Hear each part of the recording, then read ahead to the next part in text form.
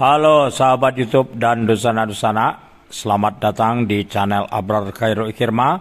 Terima kasih kepada para subscriber yang telah mengantarkan channel ini untuk menuju ke 2500 subscriber.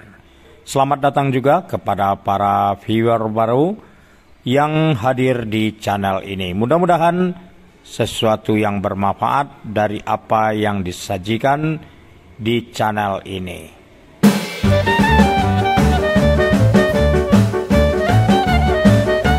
Di depan kita ini terdapat sebuah perlintasan kereta api di mana terbentang rel kereta api dari kota Padang menuju stasiun kereta api Pariaman.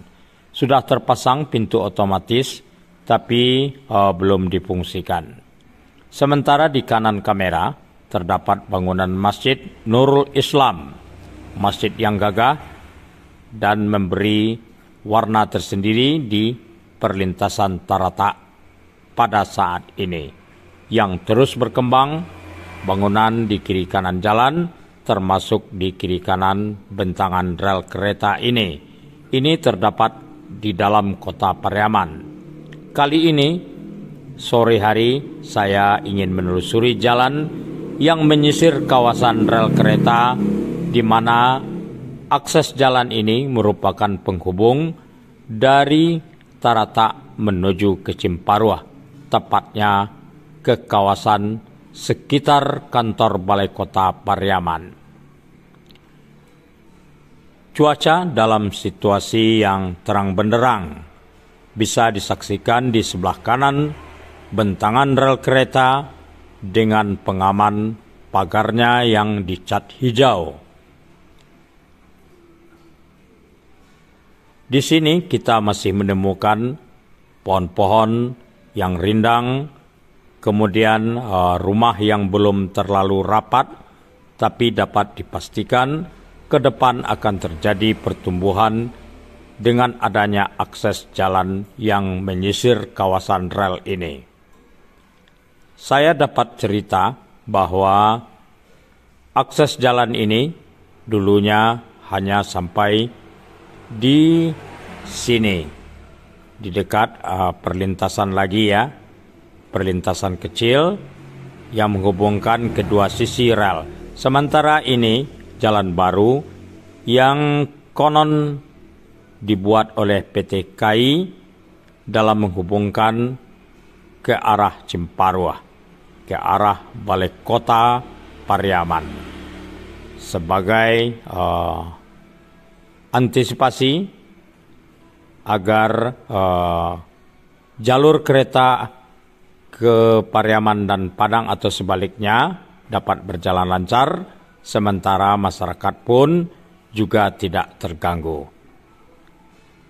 Di sekitar belakang kawasan komplek Balai Kota ya, itu yang terlihat di hadapan kita adalah kantor Balai Kota Pariaman dan sejumlah kantor pendukung yang berada di kiri kanannya. Jalan ini terlihat mulus dan saya rasakan sendiri memang mulus. Sejak jalan ini dibangun, baru kali inilah pertama kali saya mencoba menelusurinya. Tampaknya luar biasa, uh, lurus, bersih, dan juga uh, sangat vital dalam menghubungkan Tarata dengan Cimparua. Di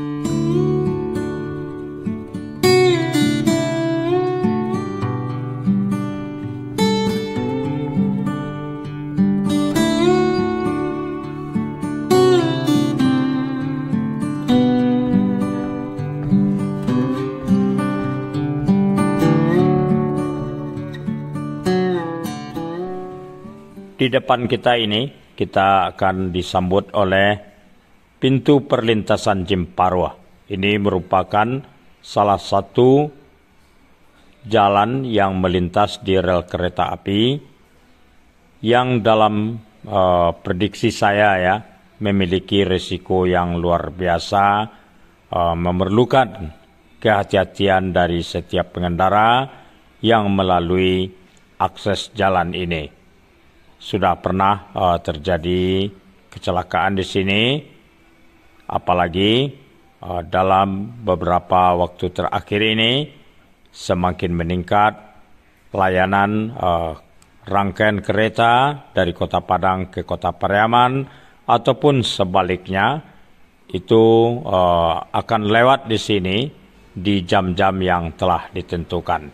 Jadi para warga kota ataupun para mereka yang datang ke kota Pariaman jika menempuh pintu-pintu perlintasan memang harus berhati-hati karena risikonya adalah nyawa. Para sahabat YouTube dan dosa-dosana, kita meneruskan perjalanan akses jalan ini yang nantinya akan terjumpa dengan jalan raya, jalan protokol di dalam kota Pariaman, di mana di sebelah kiri kamera ini uh, merupakan kawasan dari komplek kantor Balai Kota Pariaman. Pada saat ini jalan ini benar-benar cukup uh, bersih dan sawah yang lagi menghijau. Nah, itu dia adalah komplek kantor Balai Kota Pariaman yang berada di Cimparua.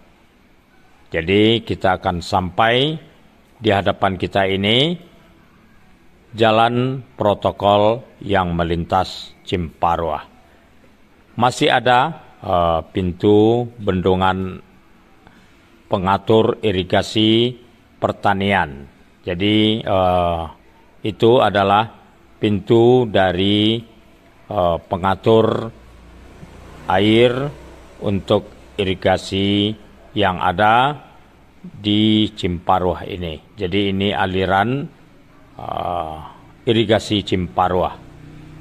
Airnya datang dari bendungan air Santo ini, para sahabat YouTube dan dusana-dusana pada saat ini uh, alirannya, salurannya ya, maksud saya dalam keadaan lumayan bersih.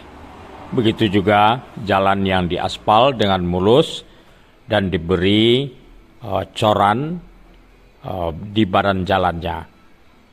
Luar biasa indahnya pada sore hari ini jika berada di sini, apalagi dengan adanya tumbuhan pinang ini yang memberi daya aksentuasi ya. Oke, uh, bunyi airnya yang yang mengalir uh, terasa suasana semakin mendalam dan ini ada berada di dalam kota Pariaman ya. Jadi di pusat kota ini para sahabat itu dan dusana dusana. thank you